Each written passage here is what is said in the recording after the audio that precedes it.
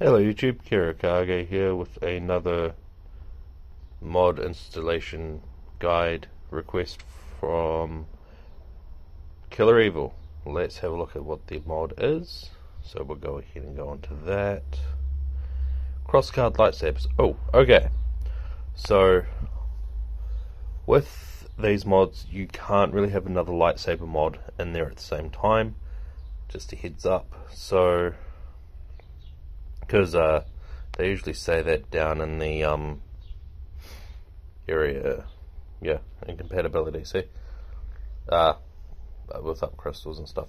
So uh, just a little wee warning there. So we'll go ahead and download it. So I'll pause it while I do. The download is done, so I'll just go ahead and go into it. Open just once. I should have an always. There's a README PDF. I have had bad luck with PDFs. So just go into the override folder, copy everything in here, go through, check everything out, make sure, just check see what's there. Alrighty then, then this was for KOTOR, right? Uh, yes. Also, uh, request to people who request for me to do the stuff. Uh, I request that you please specify which game, because KOTOR and KOTOR 2 are two different games.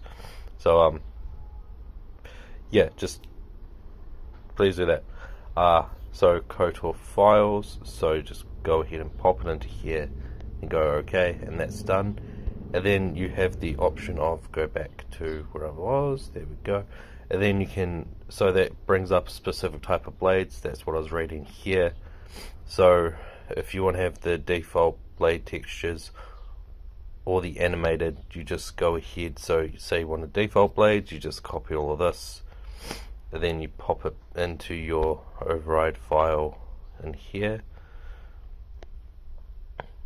That was the wrong one. That was supposed to be KOTOR 2, but you, you get the idea. Uh, and then if you wanted the animated blades, you copy that and then move that to your KOTOR override file and then just pop it on in there, just go replace all. Should be good to go. And yeah, if you enjoyed, leave a like. If you're new, please subscribe. If you have anything to say, leave a comment down below, and I'll see you in the next video. Bye for now.